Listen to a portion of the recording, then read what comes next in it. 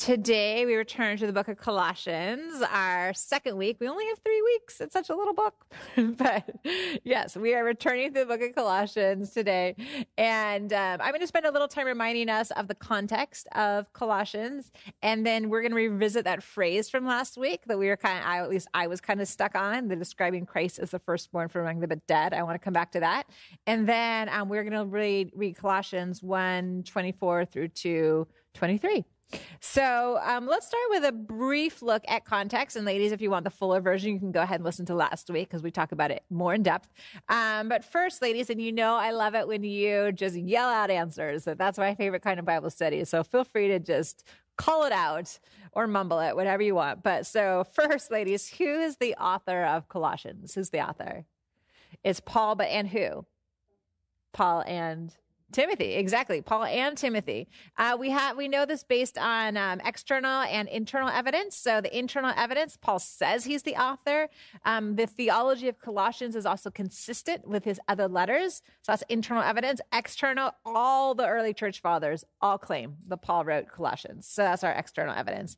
Now, who is our audience, ladies? It's the church in Colossae, exactly. So, unlike Ephesians, that we believe was intended for all the churches in around the area of Ephesus, uh, in Colossians, Paul does address specific issues going on in this church. So, it's very specifically for a certain church.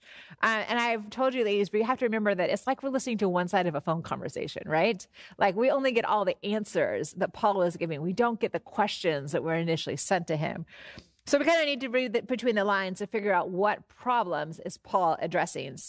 Um, so that's the who. So where and when was Colossians written? Do you ladies remember where was Colossians written? What city? Rome, exactly. And the when, we believe it's about 61 to 62 AD. So Paul is in house arrest in prison in Rome, and he is writing to some of the churches in and around um, the Roman Empire. So, and actually, this answers the next question What is Colossians? What form of literary style? It's a letter, exactly. Perfect. So it's not a full statement of all Christian thought and teachings. It's a letter to a specific church. And then why? Why does Paul write the letter to the church in Ephesus? So this is really the question that we are going to be looking at through all three weeks that we spend on this book. Um, we learned from Colossians, from the book itself, that as we talked about last week, a man named Epaphras initially brought the gospel to Colossae and planted the church that is there. From the end of Colossians, we learn that Epaphras, this same guy, is now with Paul in Rome. So it seems that Epaphras has come to Rome to ask Paul how to deal with some problems going on with this church in Colossae.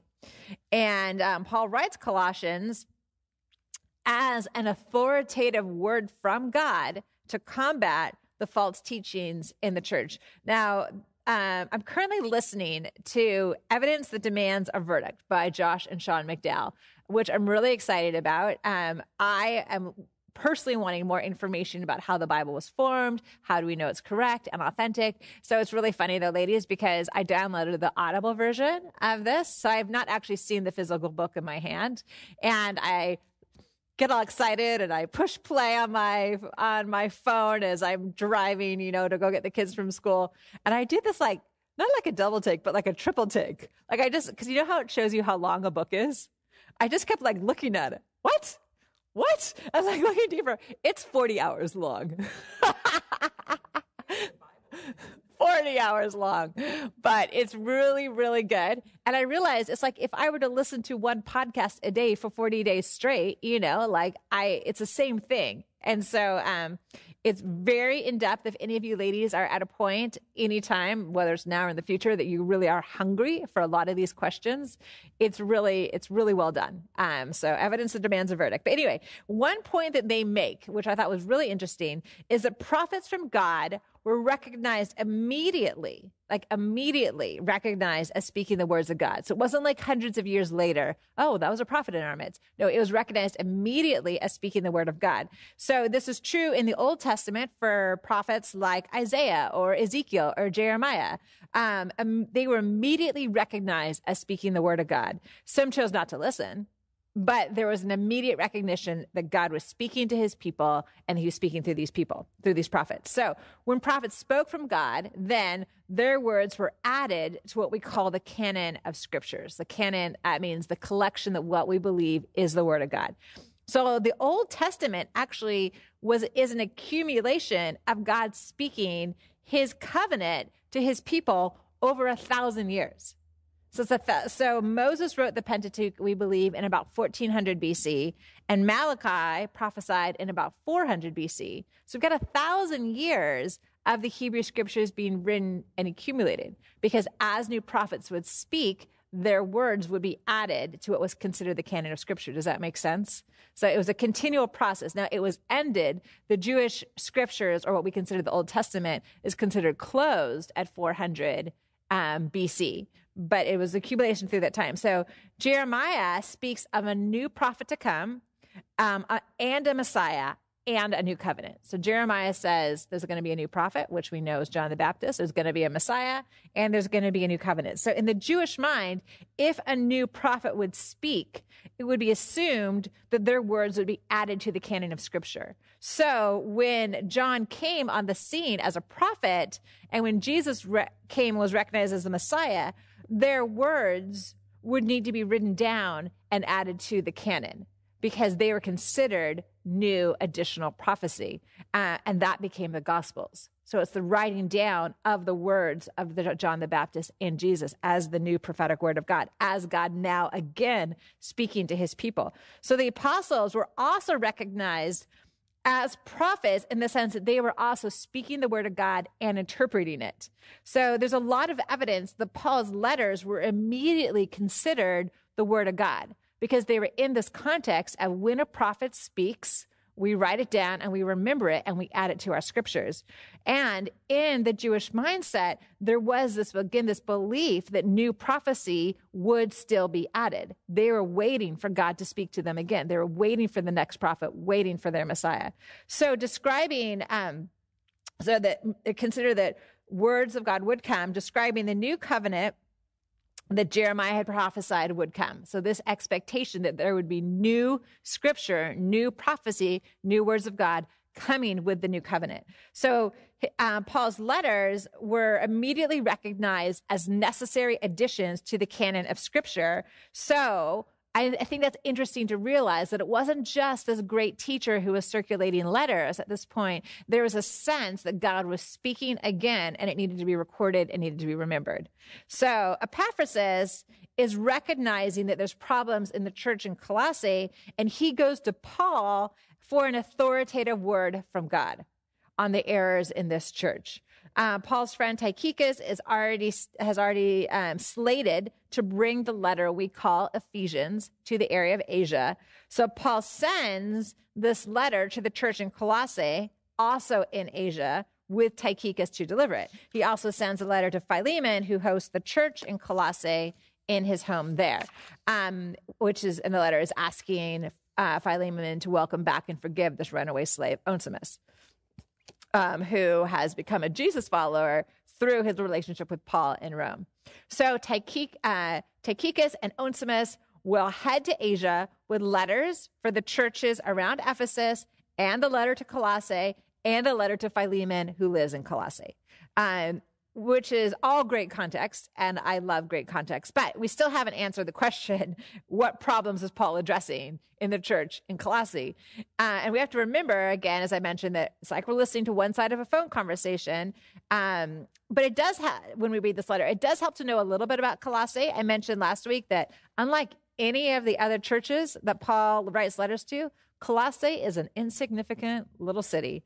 Uh, it was known for wool production and having a lot of sheep. It was on a major road, so that got brought people to it. It was on a major road from Ephesus to the central highlands of the peninsula. There are no major gods or temples in Ephesus like there were in Ephesus or Corinth. Um, but I did mention the area was known for sort of this mystical uh, religious, ecstatic style of worship. Um, the Gentile, it was Gentile population, but there was an elite, wealthy Jewish group as well. Um, Jewish thought at this time, as I also mentioned last week, had become very influenced by mystical Greek beliefs. So they believed in this intrinsic evil of all matter, of everything that is living. Um, which, and this absolute separation between God and the created world. So in this Judaism, um, angels, powers were these sort of necessary intermediaries between God and his creatures.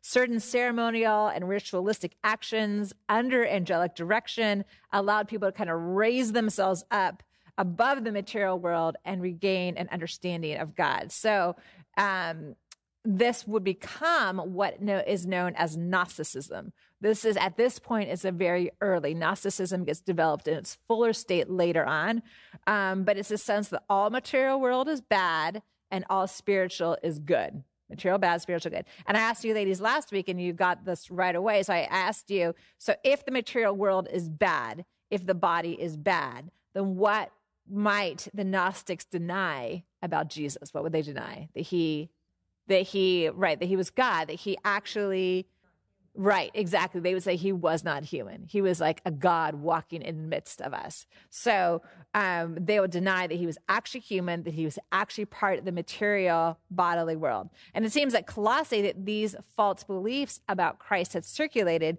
because we see that they're likely we see a sense that they're either denying his humanity or they're denying his deity. And we read last week how there's this great, um, just whole complete understanding of who Christ is. And one of the big things it says is that he he was the fullness of God in bodily form. So we see that it's combating this sense of that time that Jesus, they were saying that Jesus could not have been, and he could not, God would not put himself down to be part of our material world. Um, so as we read last week, you know, Paul begins uh, Colossians by very clearly stating who Christ is. Um, last week, I told you, ladies, or we talked a while at the end, the phrase that really gave me pause was how it says that um, Jesus was the firstborn from among the dead. Um, Jennifer, I love that you were reading a book and looking that up. Did any of you ladies um, look into that any further uh, this week? It's okay if you say no, but I was curious if any of you like decided to dive into that a little bit more. Uh, well, I wanted to do some more research because I always get mad if I don't fully understand something and I want to like get it. So, um, I'm reading. So one of the commentators I'm reading right now is this guy named Melick. He writes on Colossians. I really like him. I like his perspective. So he describes how the description of Jesus in that section was most likely an early hymn. And mom, you'd even mentioned this last week, the way it's very rhythmic and sounding. So, um, and that it could have, so it could have been broken into stanzas really easily. And actually, that's a handout. One of the handouts I've given you, ladies, is you have on one side, you have a full um, outline of Colossians. And on the other side, you'll see that um, these verses are broken into stanzas. And for those of you ladies on Zoom or listening to this, I did email this out. But if you didn't get it, you want to email me, I'll send it to you. So um, we don't know if the hymn was original to Paul or if it was written by someone else, but he puts his stamp of approval on it by including it here in Colossians. The first stanza refers to Jesus and creation. Can you see that? Do you see how it's really is broken up in these two, three stanzas actually? Uh, the third stanza refers to Jesus and redemption. So the first is Jesus and creation, and there's like an interlude, then Jesus and redemption. The point is that Jesus is Lord over all creation, and he's Lord over the new creation. He is the firstborn over all creation, and he's the firstborn over the new creation. Because do you see how they're parallel? Whenever we see that kind of literary parallelism, then we want to look for what's being, what's the point? Why is there a literary parallelism going on?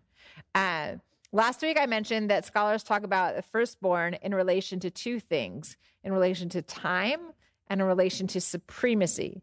So, some scholars believe that Jesus was literally firstborn in time, firstborn from the dead. But that, I question that. That's the part that I was like, uh, that doesn't seem to me to be correct according to how I understand the full canon of scripture. So looking at these two phrases as connected, I think helps us understand them even more. So um, it highlights also the problem in understanding firstborn as based on time. Because if firstborn literally refers to the very first in time, then what's the problem with calling Jesus the firstborn over creation? What's the problem with that? If Jesus, if it's saying that this is if firstborn, because it's the same word used two times, firstborn over creation, firstborn from the dead. So what's the problem with calling Jesus a firstborn over creation if it literally refers to time, like the very first? Too long? Well, thinking back to, to, to creation, so thinking of it just based on creation, what's the problem calling Jesus the firstborn of creation? He was always around. Exactly. So, based on the Trinity, we believe Jesus always was. The, the Trinity, Father, Son, Spirit, always was. It's not that there's a separation and part of the Godhead was later created. Does that make sense? He didn't have to be born. Exactly. There's no sense of Jesus being born at the beginning of time. Jesus was born to Mary. He Jesus left the Father for a portion, but and returned to the Father. But it's very clear that um, like so John 1, 1 through 3 and 14. You ladies remember these beautiful words. In the beginning was the Word, and the Word was God, and the Word, a word was with God, and the Word was God. He was with God in the beginning. Through him, all things were made. Without him, nothing was made that has been made. The Word became flesh and made his dwelling among us. We have seen his glory, the glory of the one and only Son who came from the Father, full of grace and truth. So he was God, was, was with God and was God in the beginning. All things were made through him. So, what do we learn about Jesus' relationship to God through this? We learn that he was with God in the beginning and that through him, all things, all things were made. So, if Jesus is the firstborn over creation, that doesn't mean, that can't mean literal order, right? It can't mean a literal firstborn so then it would follow that calling him the firstborn from among the dead doesn't have to do with time either, because the two phrases are parallel. Does that make sense? And the word would be used the same way. Paul is using the word the same way in both sentences. Am I losing you, ladies, or does that make sense? Kind of? Okay. So I remember that from last week, the Greek word that was used for firstborn is this word protokos, which can literally refer to birth, birth order. It can refer to firstborn as in the verse, firstborn of a family. But in the Old Testament, it referred to inheritance and it referred to authority, taking the father's place as head of the family, of being sovereign um, over or head of a household. So it also became tied to David and his line. He was called the firstborn, so it became a messianic title as well. So if we understand protokos as preeminence, as authority over, does that make does that understanding make sense here? So how is Jesus preeminent over creation, authority over creation? And you can ladies can answer that. How is Jesus the authority over creation? Part of the Trinity, exactly. So he is preeminent authority over creation, the firstborn of of the creation in the sense of the firstborn son, the firstborn inheritance and authority of governing over. That would make sense. Um, and actually Colossians answers that because in Colossians 1 16, so in following this statement, so it says, um, 15 says, The Son is the image of the invisible God, the firstborn over all creation. For in him all things were created, things in heaven and on earth, visible and invisible, whether thrones or powers or rulers or authorities. All things have been created through him and for him. So if all things are created through him and for him, he's not the literal firstborn, he's the authority over. And then, so all things have been created through Jesus and for Jesus, like the firstborn son who has authority over his father's household. Jesus has full authority over creation. So, if preeminent is the best translation, then how is Jesus preeminent over death? Any thoughts on that? He can beat it? Yeah, totally. Yes. The death does not have authority over him, right? That Jesus has authority over death. He's preeminent over death. Even death does not have authority over him. Colossians 1 18 through 20 actually does unpack, unpack this better. It says, um, okay, and he is the head of the body, the church. He is the beginning and the firstborn from among the dead, so that in everything he might have the supremacy. For God was pleased to have all his fullness dwell in him and through him to reconcile to himself all things, whether things on earth or things in heaven, by making peace through his blood shed on the cross. So, verse 18 Christ is firstborn from the dead, so that in everything he might have what? What's the word? Supremacy. Exactly. So, Christ has authority over death. Death does not win. For us who believe, we know that death we know that death does not win and we look forward to eternity with Christ. And what is the point of Christ having preeminence over death? Well, verse 20, it says, through Christ, God reconciles to himself all things by making peace through his blood. So Christ's preeminence over death, his conquering of death, reconciles us to God. And the point is that reconciliation. Commentator Melick had great perspective. He said, just as creation depends on him, on Jesus for its existence and order, redemption depends on him, Jesus, and he is the primary figure in it. So just as creation depends on Jesus for order and uh, for its existence, redemption depends on Jesus for its existence.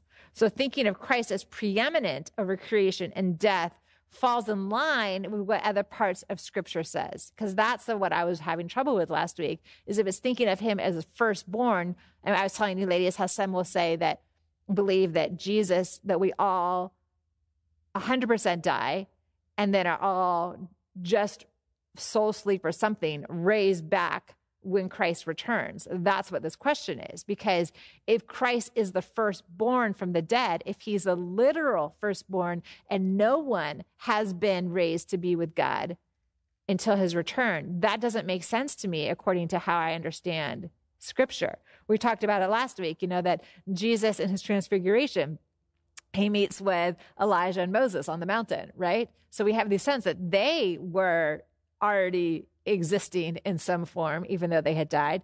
And remember Jesus' comment to the thief on the cross, where he says, Today you will be with me in paradise, right? Today. So, um, so scripture gives a sense that we are with God as soon as we die. Yet we look forward to a new heaven and a new earth and Christ's return. And somehow in some form a fuller resurrected body that there is some kind of transformation that happens at that point. We don't understand what it means but we get the sense that we are with christ immediately upon death. And i think even from experience i mean we don't necessarily like to argue from experience. We want to argue from what the scripture says but there have been so many near death encounters right? Where people talk about this light and this sense of like glory and amazement and like i'm there but then suddenly I'm not. And that that has been a story that's been experienced by so many people that I know, again, we're arguing from experience, but we can't also entirely discount experience either. Um, okay. Any questions or wisdom to share, ladies, on this part here? Jennifer. Oh, good. Absent from the body and present with the Lord. That's good. Yay.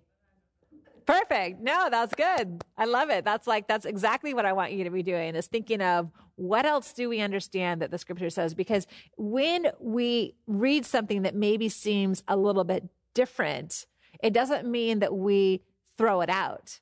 It means that we get curious and try and dive deeper to understand it. So, like, that's how we get curious about this Greek word, protokos. What does that really mean? Does it literally mean firstborn, or is it talking about the preeminence and authority of the firstborn son? So, that's perfect. So, yes, because we want to weigh everything according to the whole canon of scripture and not just pulling one verse out and saying this is what it means. So, good job. Okay, let's keep going with Colossians. All right, so from here, Paul is going to specifically combat what is called the Colossian heresy, and that heresy, and that's just what scholars call it, the Colossian heresy. Heresy. Um, but before he does, he's going to give his credentials. So if you ladies look at the outline that I gave you as well, it kind of shows you where we're going today. He's going to remind the Colossians why he has authority to be a messenger from God to them. So he's going to deal with the false things going on in their um, church. But before he's going to deal with it, he's going to remind them why does he have the right to speak into their lives? Why does he have the right to be the authority? So um, we remember that Colossians, that the Colossians had not met Paul personally.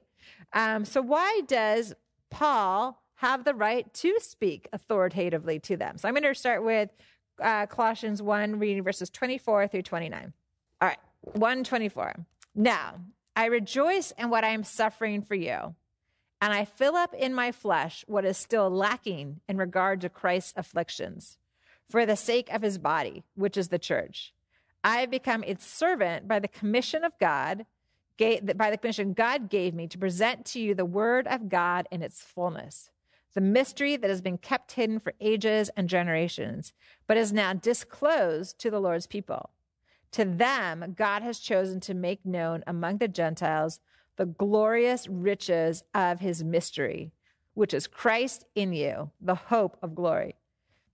He is the one we proclaim, admonishing and teaching everyone with all wisdom, so that we may present everyone fully mature in Christ. To this end, I strenuously contend with all the energy Christ so powerfully works in me. Okay, so Paul starts by stay, saying that he rejoices that he's suffering for the Colossians. Now, how do we know that he is literally currently suffering for the Colossians? Where is he? He's in prison. Exactly. So he means this literally. I'm actually suffering for you right now. Um, so, but the next phrase causes us to go, what? what does that mean? I fill up in my flesh what is still lacking in regard to Christ's afflictions for the sake of his body, which is the church. That's one of those phrases where you're like, what? What is he talking about? Um, so, because we know that Paul, that Jesus' work was complete. So, in what ways is Paul filling what was lacking in Christ's afflictions? So, Melick, again, my new best friend commentator Melick, notices the same Greek word is used in verses 24 and 25 Paul says, I fill up. Um, I'm not. I'm not going to say the Greek word. I'm just going to butcher it. But anyway, I fill up in my flesh what is still lacking in regard to Christ's afflictions. And then in verse 25, it is to present to you the word of God in its fullness. So I fill up and fullness are the same Greek word. I fill up in my flesh what is lacking in regard to Christ's afflictions to present to you the word of God in its fullness. So Melick says this lexical pattern, so using the same word twice, provides insight to recognize that Paul has conceived of his mission in two dimensions suffering and completion of the word of God. So we so Paul recognizes his mission is to suffer and to complete the word of God. So the verb to fill up actually only occurs here in scripture. It's the only time that this word is used, and it's used these two times. The preposition again, ana, is prefixed to the root word, and another Greek preposition in place of anti is added to it. And all that means is that when you add these two prepositions to this word, the word conveys the idea of completing in place of. So uh, when I fill up in my body, the sense is in completing in place of or completing for someone else, completing on behalf of someone else. So Paul is not saying that Christ's sufferings were not enough. That's not what he's saying here. That somehow Christ's work on the cross was not enough for atonement. He's not saying that. So Paul seems to be saying that he is continuing the work of Christ on earth, that his sufferings are part of continuing that work of Christ on earth. That Paul suffers for the sake of who? Verse 24. Who is he suffering for? Suffering for, in verse 24, the body or the church. So his commission by God is to present the word of God, verse 25, in what? In in fullness. Exactly. So and what is this full message that Paul is proclaiming? Verse 26 it's a mystery that has been hidden from previous generations, but is now disclosed. And what is that mystery? Do you ladies remember that from Ephesians? He just talked about it. So the or we just read about it in our last book. So the mystery is that God has chosen to include who in his plan for salvation? Gentiles, exactly. Paul unpacked this fuller in Ephesians 3. I'll just read it briefly. So you can stay where you are, but I'm going to go back to Ephesians 3 and read 1 through 6. And remember that he writes Ephesians at the exact same time as he writes Colossians. So he's just, it's the same thought, but he's unpacked it a little bit more in Ephesians 3. He says, For this reason, I, Paul, the prisoner of Christ Jesus, for the sake of you Gentiles, surely you have heard about the administration of God's grace those given to me for you. That is the mystery made known to me by revelation, as I have already written briefly.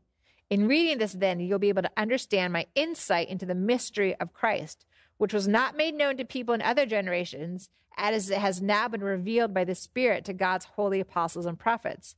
This mystery is that through the gospel, the Gentiles are heirs together with Israel, members together of one body, and shares together in the promise of Christ Jesus. That's Ephesians 3.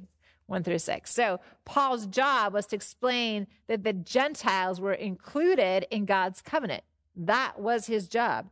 So, with Christ having returned to the Father already, Paul completes Christ's work on earth by proclaiming to the Gentiles that they are part of God's family, his covenant community, when they accept Christ's atoning work on the cross for them.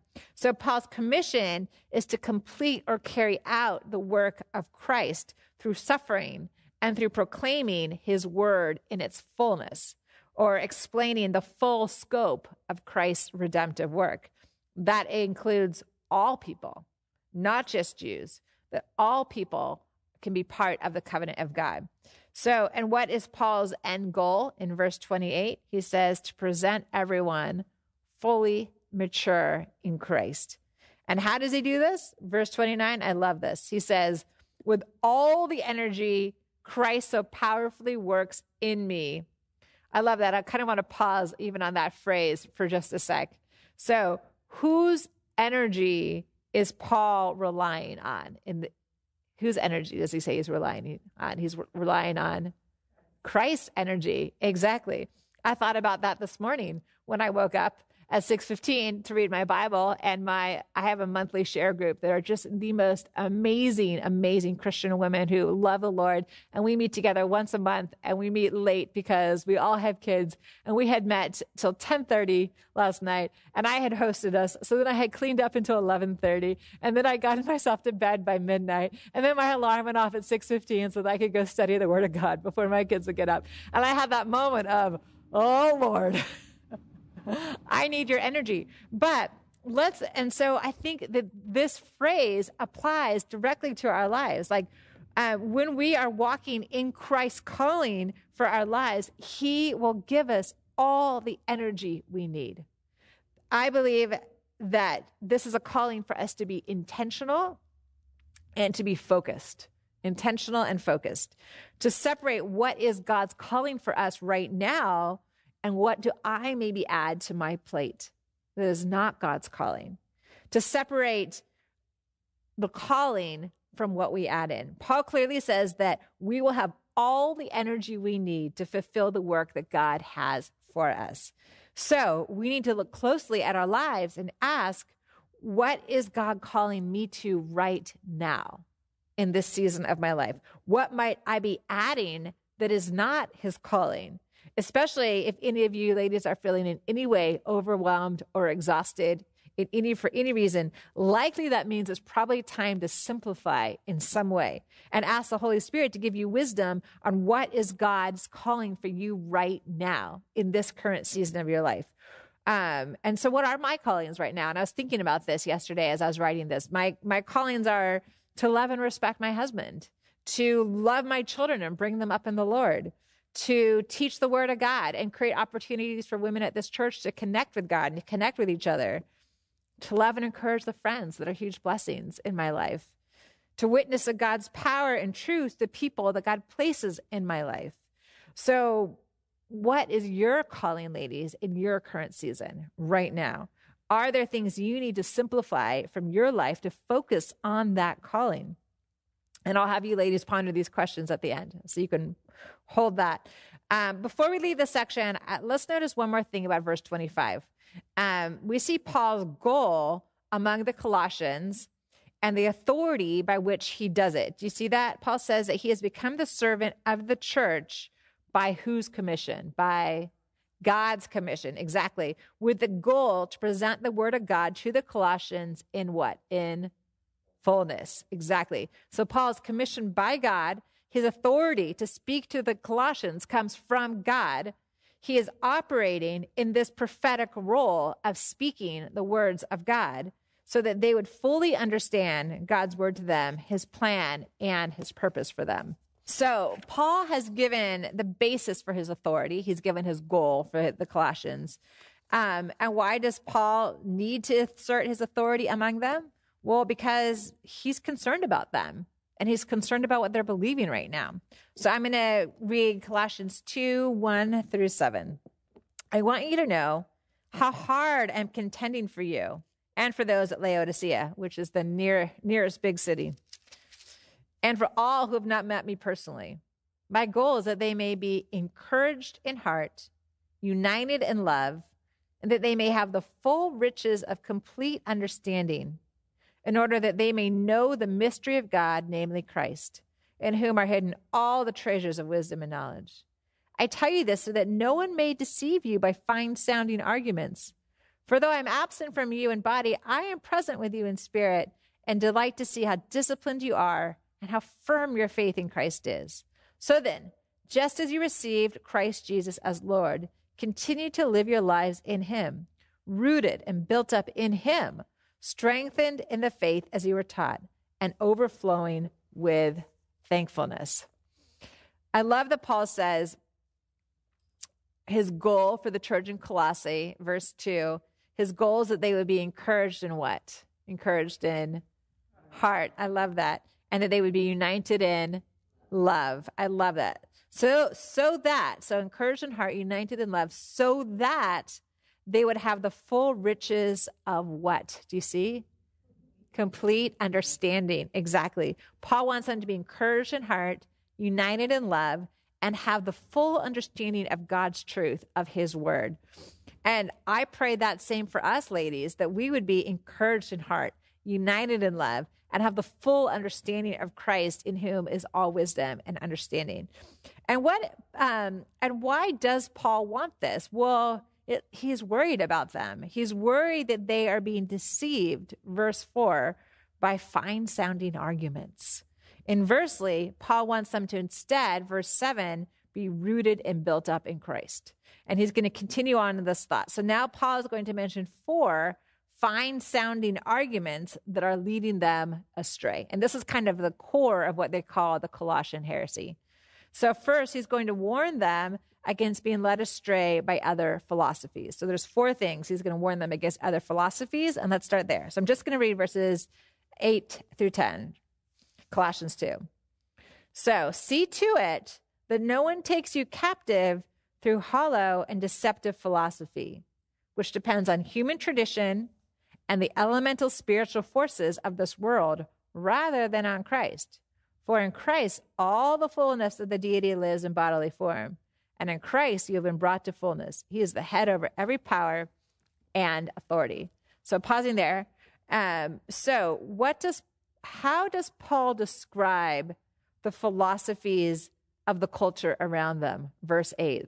Philosophies of the culture around them are what? They are hollow and deceptive. I love that. And where do those philosophies come from? Verse 8. This is interesting. They come from human traditions and the elemental spiritual forces of the world. So, ladies, notice this. Any belief or philosophy that does not proclaim Christ is based on human tradition or the work of the enemy. It's really clear. So any philosophy that does not proclaim Christ is based on either human tradition or the work of the enemy. Any philosophy that puts anything else on the throne in your life, on the throne other than Christ, is based only on tradition or the work of the enemy. I have been encouraging you ladies um, to consider reading Mama Bear Apologetics, which is this book I've been reading with our moms group on Friday mornings. Um, and they go through the philosophies of our modern culture and how and show who or what is on the throne in those philosophies. For example, they talk about self helpism. Who is on the throne in self helpism? You can guess by just that first word yourself. Exactly. It's the belief that I that I have all the power I need inside of me to heal myself.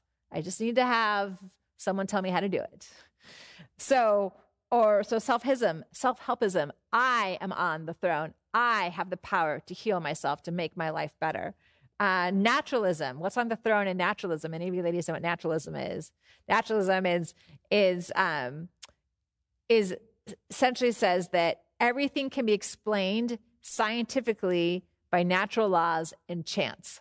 They add in chance. In naturalism, everything can be explained by chance and natural laws. So, um, and so that's putting science on the throne, saying that science can explain everything, absolutely everything going on in our world. Science can explain it, um, which is actually not true, but um, it can explain many things. Um, so for the Colossians, it seems it was early Gnosticism was the philosophy that was leading them astray. Um, that all material things are bad and evil because in in Christ, verse nine, it says, "Who dwells." The fullness of the deity dwells in bodily form. So he's saying, don't let people take you captive with other philosophies or beliefs. Don't let people tell you that Christ was not 100% God and 100% human at the same time. Um, and though this may be something that's honestly a little bit hard for our brains to fully wrap around, the understanding that Christ was fully human and fully God at the same time, um, we we we believe that and it, with an element of faith, even if we fully do not understand that. But that is what God's word tells us that Christ was human and he was God, 100% each. So, um, next, so don't let anyone take you captive with false philosophies. He says next, Paul warns them against being led astray by any by ceremonial Jewish laws. So the context of these next verses, Colossians 2, 11 through 17, that I'm going to read, are in the context of ceremonial Jewish traditions. So he's saying, don't let these um, take you captive either. So, chapter 2, starting verse 11. In him, meaning in Jesus, in him, you were also circumcised with a circumcision not performed by human hands. Your whole self, ruled by the flesh, was put off when you were circumcised by Christ, having been buried with him in baptism, in which you were also raised with him through faith in the working of God, who raised him from the dead. When you were dead in your sins and in the uncircumcision of your flesh, God made you alive with Christ. He forgave us all our sins, having canceled the charge of our legal indebtedness which stood against us and condemned us. He has taken it away, nailing it to the cross. And having disarmed the powers and authorities, he made a public spectacle of them, triumphing over them by the cross. Therefore, do not let anyone judge you by what you eat or you drink or with regard to a religious festival, a new moon celebration, or a Sabbath day. These are a shadow of the things that are to come. The reality, however, is found in Christ. Let's look at those that those phrases for a few minutes. Okay, so in uh, so in the first covenant, what did every male have to do should be considered part of the covenant community? He had to be circumcised. Exactly. So every male child, eight days old, had to be circumcised. Every male convert to Judaism also had to be circumcised. So this was a circumcision done by a priest or a rabbi, so done by human hands. So circumcision done by human hands would be literal um, circumcision entrance into the Jewish community. So the problem was did the old covenant bring life? No, the old covenant did not bring life. The function of the old covenant was to show us a faithful God and to show a humankind who could not adequately return that faithfulness on their own. We see a patient God in the old covenant and people who could never get it right. That's the story of the Israelites, people who could never get it right. The law or old covenant shows us our need for Christ because none of us are ever good enough to please God. We are ruled by our sinful nature by our identity as Adam's offspring. But now in Christ, our actions or physical circumcision do not bring us into the covenant community. So it's no longer circumcision or actions that bring us into the covenant community, but instead in Christ, we go through a full transformation internally. We undergo what they call a spiritual circumcision. Our old self that was ruled by the flesh is put off, and baptism symbolizes this. So, our old nature, our old self is buried with Christ in baptism. It's like if you imagine the immersion style baptism, is what we're thinking of versus the sprinkling. So, you go down into baptism fully immersed, and that symbolizes death, right? And then you come up, and that symbolizes your new life in Christ. So our old say our old nature, our old self is buried with Christ, like we were immersed in water, and our new self is raised back to life through faith in Jesus.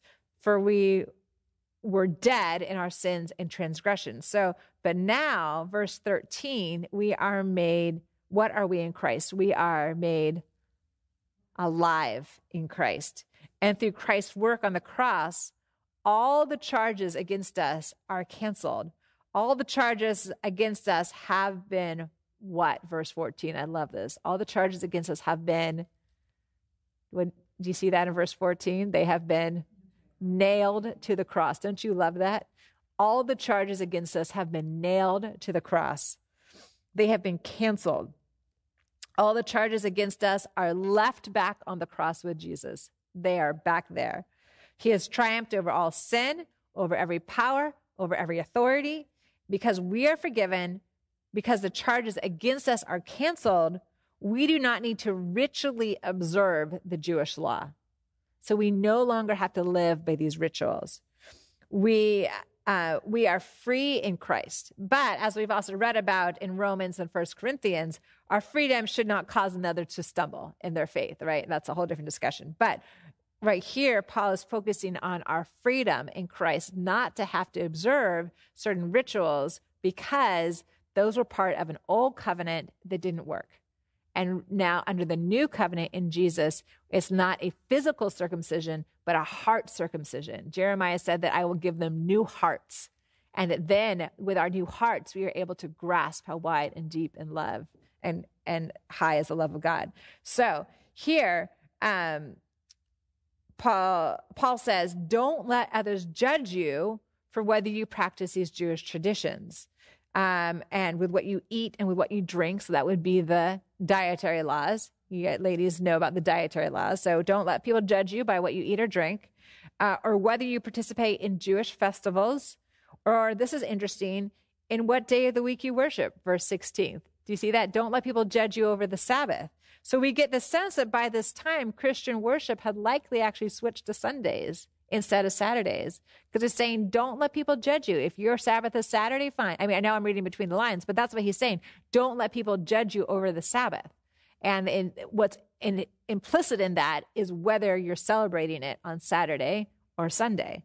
So, um, and af- so then he kind of he keeps going, and again, he's still focusing on don't um, don't let these practices take you captive. So don't let the philosophies of culture like Gnosticism, don't let the practices of Jewish traditions, don't let those take you captive.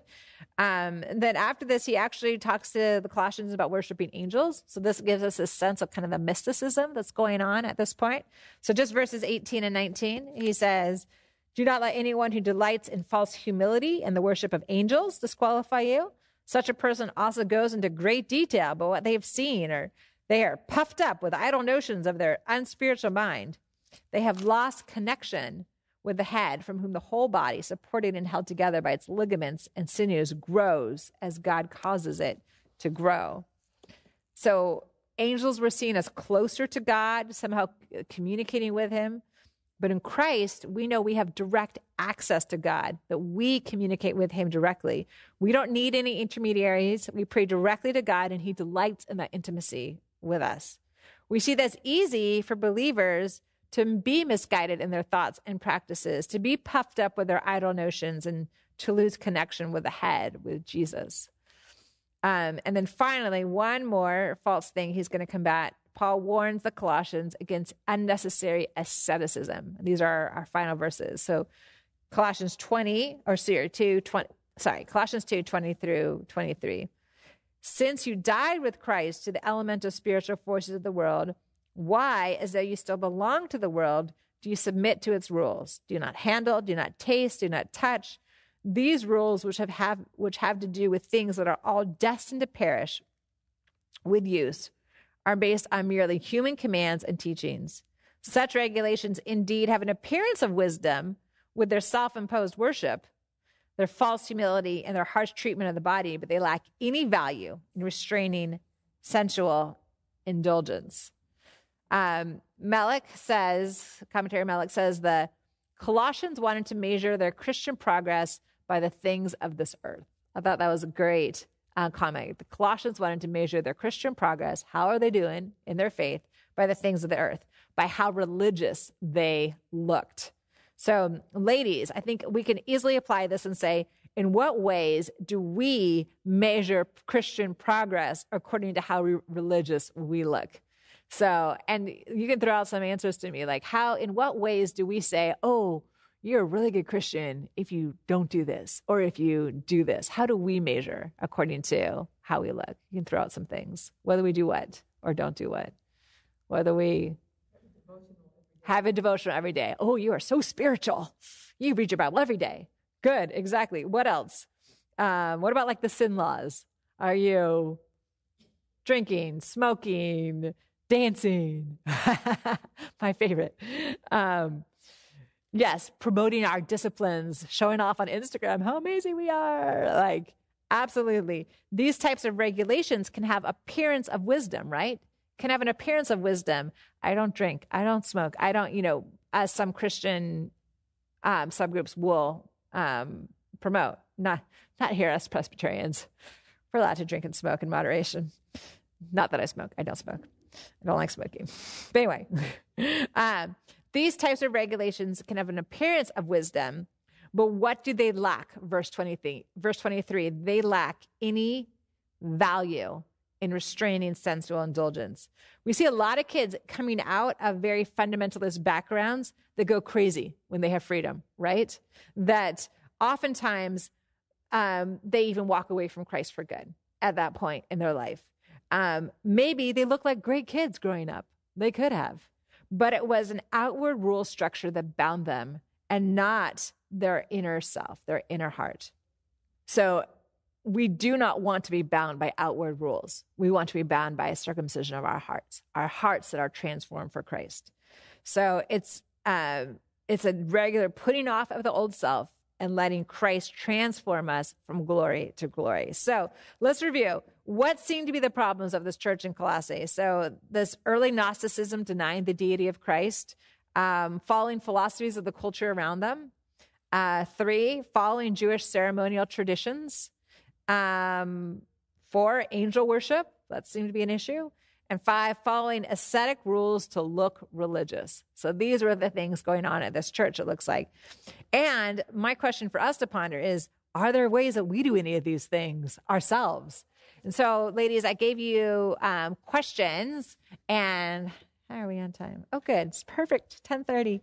Um, what I'd love for you ladies to do is to spend like just five minutes right now working through these questions and then I will close this. But I'd also invite you to take them. That's why I wrote them down because they're kind of long this week. Invite you to take them with you and even spend some more time pondering them um, on your own and in your own devotions this week. But I'll read them to you. So, um, you know, first, always, ladies, if you have any questions, write them down because I'd love to discuss questions.